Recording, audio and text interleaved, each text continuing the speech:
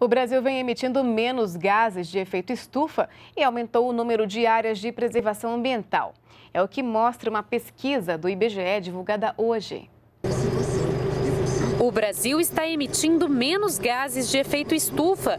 De 2004 a 2011, a emissão de gás carbônico, um dos principais causadores do aquecimento global, diminuiu em 84% nas atividades que envolvem mudança no uso de terras e florestas, como desflorestamento, queimadas e abandono de áreas.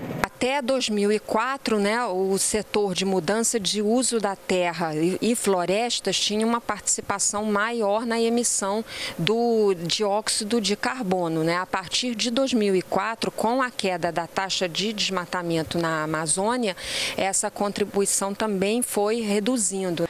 As informações são da pesquisa Indicadores de Desenvolvimento Sustentável 2015, que fez um retrato do Brasil nas dimensões ambiental, econômica, social e institucional. O estudo investigou onde estão os pontos de pressão no meio ambiente do país e procurou responder como está esse ambiente, ou seja, como estão a sobrevivência das espécies de animais e plantas e a qualidade do ar e da água. Os incêndios florestais também diminuíram de quase 250 mil focos em 2010 para um pouco mais de 115 mil em 2013, uma redução de 53%. O número de incêndios caiu em todos os biomas brasileiros e aumentou a quantidade de unidades de conservação da natureza, como reservas e parques ecológicos.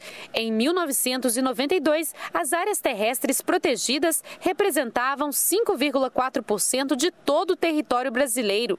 Em 2013, elas ultrapassaram 17%, 1 milhão e meio de quilômetros quadrados, uma área maior do que os países Portugal, França e Alemanha juntos. As áreas protegidas têm uma influência na redução do número de, de focos de calor. Eles ocorrem em quase 15% das unidades de conservação no país.